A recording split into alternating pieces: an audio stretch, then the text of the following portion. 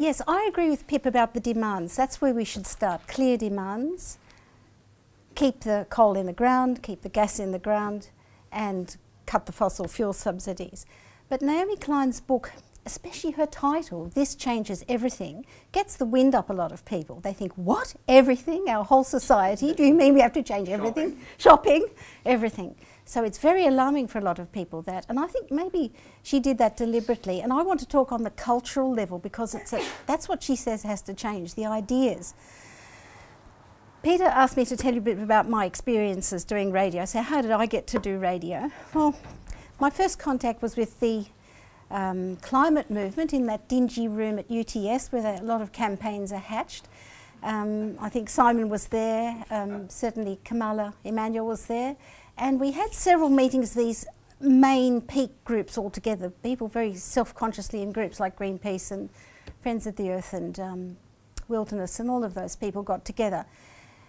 But it didn't really cohere very well because there wasn't anything I think they shared in the way of values. And so they were all posturing a bit as important people.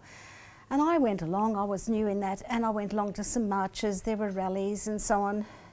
It didn't seem to click really much. And then I got sucked into their projects, and I remember being dressed up in a Greenpeace polar bear suit, which was for a six foot ten man, and it sort of squashed down with me with all these extra bits of fur around my ankles. And I was handing out leaflets at town hall and handing out leaflets, and would you like one, sir? And this is about climate change, it's very important. And really, the dead reaction I got, except for Japanese tourists who wanted to put their arms around me and have a photo taken. And we dramatised, you know, ice floes melting and all of this, and the polar bears expiring. Didn't seem to do anything. So I gave up that. And then I got involved with Beyond Zero Emissions, and they were much more hard headed. They weren't my type either, really. They were all kind of engineers and uh, raving about wind turbines and inverters and things that I really couldn't think about, but they were publishing about that. So they said to me, look, could you get into our radio program? And they more or less parachuted me into it. And from one day I was interviewing Clive Hamilton just as a sort of tester and just talking about his book. Next day it was my program. And I was doing it every week. It's been an amazing experience for me because it means I meet people that I would never have met before. And I really adore them. I don't interview any deniers or any people I don't. I like all the people I interview and I admire them. And yet, we're all coming from different points of the compass. And these are the people that Pip's talking, these activists, country people, I love them very much too. And I've been up camping and you sort of unzip the tent and there's this gorgeous scenery all around you like Switzerland. And down the road, these people are planning to frack this. You know, I, even I can see this is absolutely prime agricultural land. Um, and the people there welcome you so much.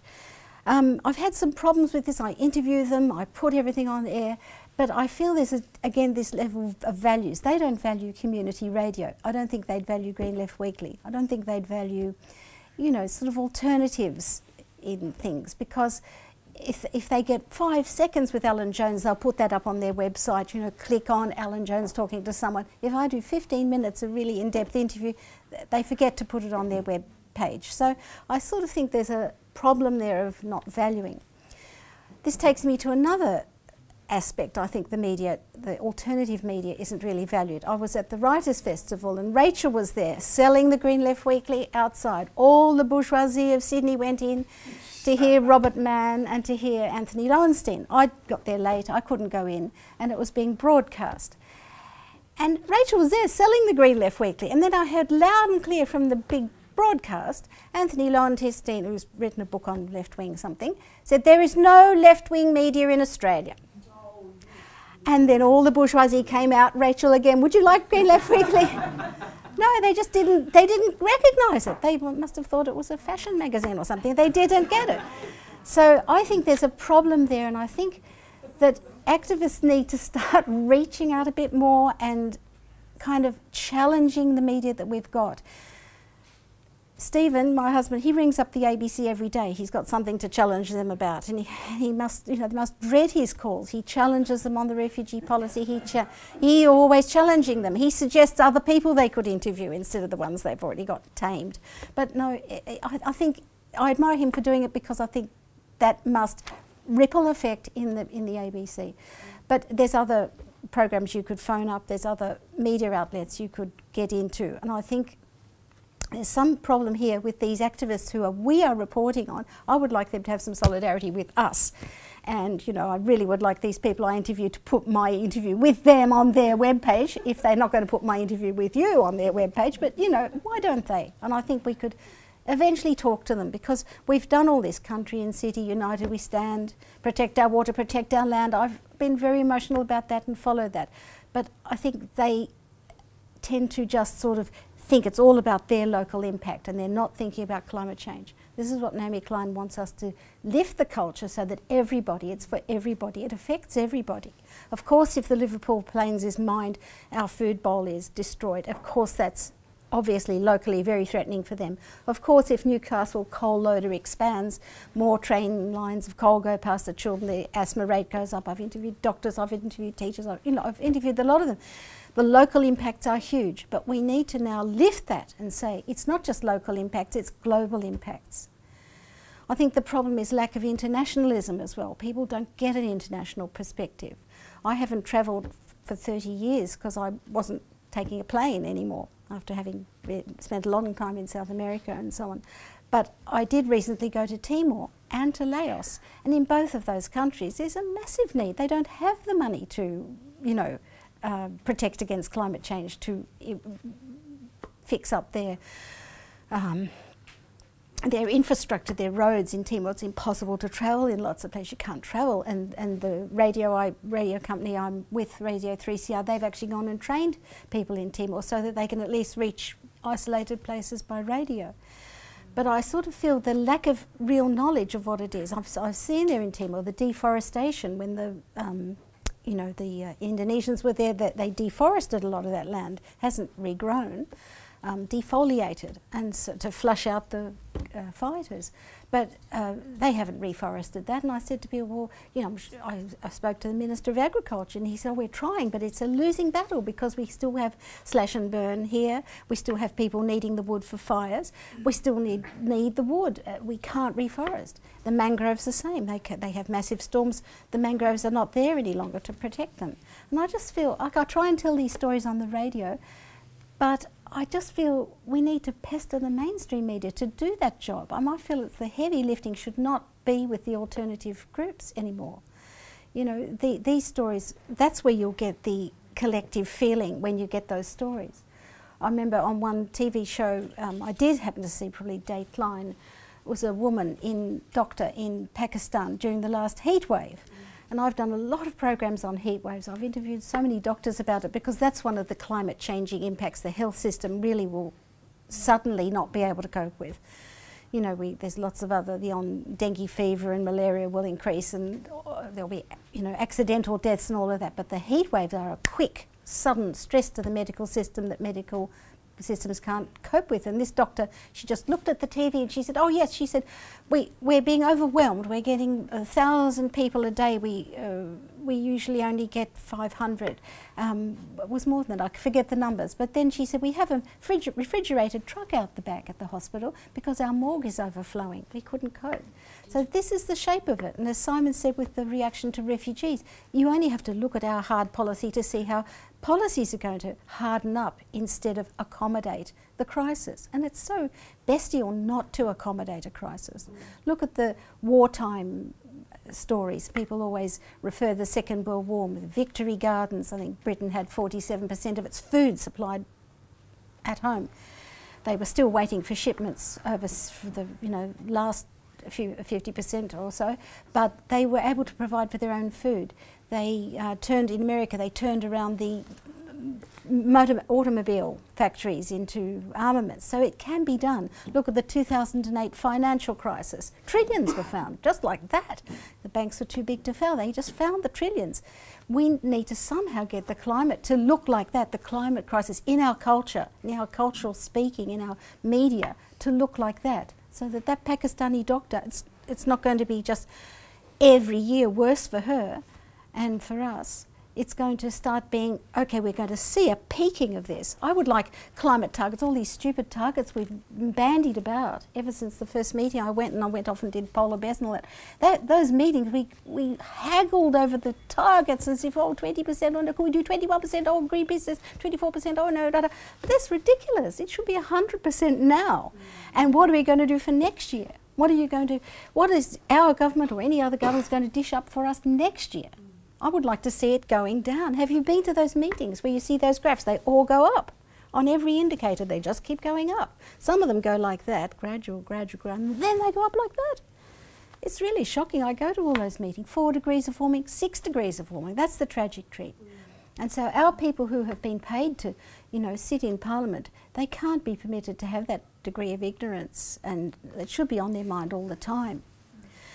Okay, a bit more of my experience interviewing people. I interviewed these um, coal groups. I went to Bulga, where Rio Tinto is um, encroaching, and I stayed with a family there overnight because they put me up. It was a planning meeting, and I'd say 90% of the people there were against Rio Tinto expanding its mine. Out of that 90%, 1% gave the reason as climate change. They used all the reasons about, um, you know, local health impacts, migratory birds being put out, um, and Aboriginal sacred sites being uh, moved. And I didn't note, I didn't take that in so much about the Aboriginal sacred sites, but I think as Pip mentioned that, you know, respect to the elders here, we should know what that these mining projects involve for those people.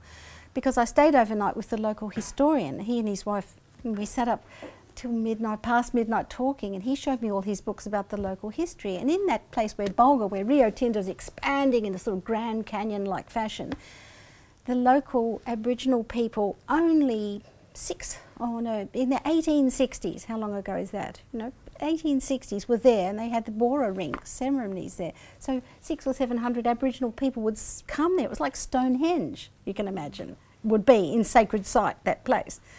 And what is left, some stone memorials and some stone things are there, and artefacts were gathered by Rio Tinto and put in a shed. So it's in like a tool shed somewhere. And they said, no, we we're going to relocate the, you know, the sacred site elements and offsite. It's like the koalas, they're going to take off the uh, Liverpool plains and just put on another forest somewhere. Koalas will rebel, I think.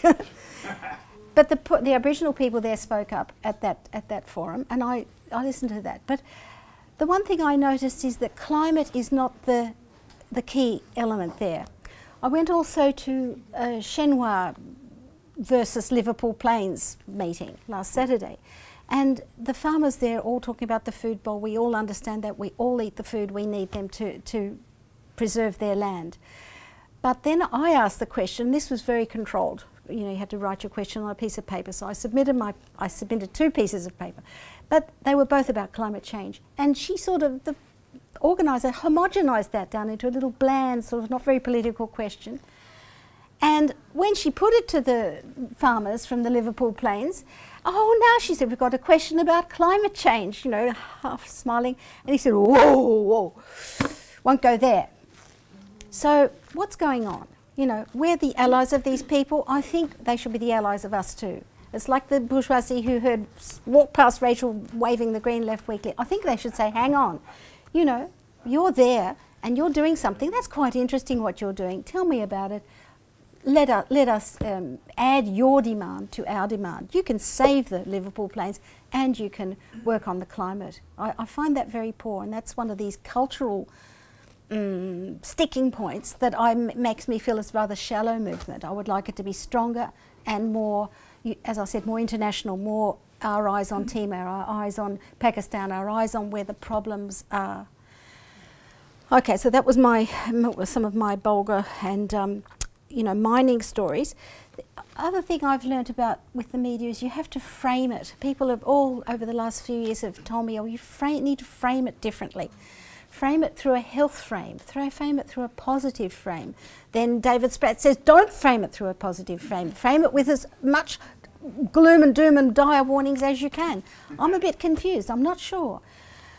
I naturally am positive, so I try to you know, lifted up at the end. I don't want to leave the people not being activ activists. I want to activate them so that I always have some campaigning things at the end of the session, of the broadcast. But I tried framing it with the health frame, and I found that the heat stress angle is the one that really gets people. I've had firemen, ambulance men reading out the list of people they went to, you know, just people expiring from the heat. The figures that we're actually talking about are in the tens of thousands. Yes. They're not single thousands. No, I know. Tens of thousands. That's right. And the, and so the ambulance this is just like Victorian ambulance on a day of heat stress. You think Victorians would get enough messages from the TV or the radio, but they hadn't. And sort of 80 year old man playing golf in maximum temperature day, so he expired. Then I had Dr. Hanna who said, well, just take as your example um, Dubai or anywhere in the Middle East where they're building cities. Some parts they're building these mega cities, maximum air conditioning, maximum sort of fake grass, swimming pools, artificial, everything. That's right. But and, and it, it's mega carbon intensive. You know, it's all, it's not some some parts of it are renewable energy, but it's mega intensive. It's, she said that's not sustainable, and she said, but what I want to report to you is the workers there. They die. Average age of those workers is 45 when they die. I said, what do they die from? She said, kidney failure. They just get dehydrated working in those conditions. So there's another example. I had another woman. Um, she wrote an article in the Big Issue, which is another alternative paper that I think is very good. They have very good journalism. Um, so you know, get the climate story into big issue if, if you can. They um, wrote one woman wrote a story about her, her sister had died uh, in heat stress, and she broke down on telling the story on the radio. And I put some music on, and rushed out and got her a glass of water. And I said, "Do you want to go on?" Uh, I'll, I'll change the subject. No, she said, I want to go on. It's an important story to tell. And it was about her sister who'd had a mental illness, and the their partner had a mental illness too, and they'd become very paranoid about going out of their house. And the, the, family rang them and checked on them a little bit, and they had carers who came to see them, but somehow they slipped through the cracks and they both died. And when she thought of that and she remembered that, you're in Melbourne, in you know every, service is laid on compared to, you know, poorer countries, but they still died. And she said we have to be much more, you know, the whole society needs to get on, uh, on side this and know these stories and, and put in place preventative action. So that's why I think it's uh, definitely what Pip said. You don't just turn up at a rally or advise someone to come to a rally. People need to be permanent activists on this, whether it's, you know, getting the public housing people to make their houses more, not where you're going to fry in there, in the heat, or um, to get places open in the city, you know, where people can stay on an on a extremely hot day, just quiet places. It, it, there's a, lot a, lot needs to be done, and every every society needs to be more resilient. But much more, as Naomi Klein says, we need to do a massive transfer of um, money and expertise to countries who can't afford it to get them up to a sort of um, at least protect themselves. You know, early warning systems for cyclones, and but also the protection uh, uh, that you need. So these are things I've learnt just from talking to all these different people. Um, the last one is so the health frame was one that I've found people are interested in, and it, it seems to get through to everyone because everyone knows what it would be like to die of heat stroke. You can imagine it. It's we all know what that's like. The feeling. The other aspect has been the law. Now I've been to lots of court cases. One was um, Rising Tide up in Newcastle, and the people there they they locked on to the coal loader and all the case was, had they disturbed the business model of the coal loader company? No, that's what they took them to court. You destroyed our, our business. And the judge was on their side, I think, because she teased it out and over about three days, I think three weeks, I think I went back twice to hear the whole story. And it was this elaborate story of the coal industry, how, how they do all these, all sorts of actions and, and these people strapped on caused them to ha have to get a cherry picker and get them off and that was inconvenient. But, but it was they were trying to prove that their business was interrupted, and she she said to them, in fact, I can prove to you. She looked through all their accountments, all their statements, and everything, and she said they hadn't, their business hadn't, they hadn't lost a dollar after all of that. And I was sitting in the court with all of these executives of the of the coal loader company, and I thought, like, I don't hate them. I don't want to make enemies of them. I would just like to have a overarching government that was savvy and clever, like like you have in Europe now, in Germany or somewhere, you know, where you, you just redeploy these people because they were so clever the way they described every last bit of the coal loader how it works. They, they, they've got expertise. I felt like going up to them and saying, oh, I did try to talk to one of them, but he obviously thought I was a bit too alternative. He didn't really want to talk to me. But I said to him, you, you, you could run a sort of export industry of, of solar energy from Darwin, couldn't you? It could be just as good. You, you could have just as much money and just as much business and all your expertise, you know. You, you obviously know how to run things like that. So I thought, that's the, the sort of reflections you might think it's a bit eccentric, but I'm sitting in court looking at these people thinking, are they really an enemy or are they just mad keen on getting this business working properly and making those profits? Couldn't they be making profits doing something else? And it's just the culture that's got to shift them and shift the workers so the workers are not left behind, because that's the other story of the workers being left behind. And to finish with a, a happy story, um, shall I tell the one about the psychopaths? Yeah. well, this is the my. I'll leave my happy one for the very end. This is the one of New South Wales Parliament. I, I, I, I wanted, yes, I wanted, I wanted to tell you about. I've sat in law courts, planning hearings, and Parliament quite a few times. And I went to the New South Wales Parliament. Pip mentioned the bill. It was narrowly lost about a moratorium, just a moratorium, not let's stop coal seam gas, just a moratorium on it. And you saw, if Pip was there, I think and, the, and, I were the only people who you might call media there. I don't know where the mainstream media were. It wasn't an interesting story for them. I thought it was fascinating because this um, Honourable Mr. Dr. Peter Phelps, everyone subsequently has told him he's, me he's um, notorious, but I didn't know that. And he got up and he looked at the gallery, the public gallery, and said, the real tragedy is that there's a triangular sort of thing going on here, and at the bottom are people like you, the activists and the community organisers, and you are, you know, innocent but misguided. You don't understand about coal seam gas, i.e., it's completely harmless, and we've done every proof and test on it.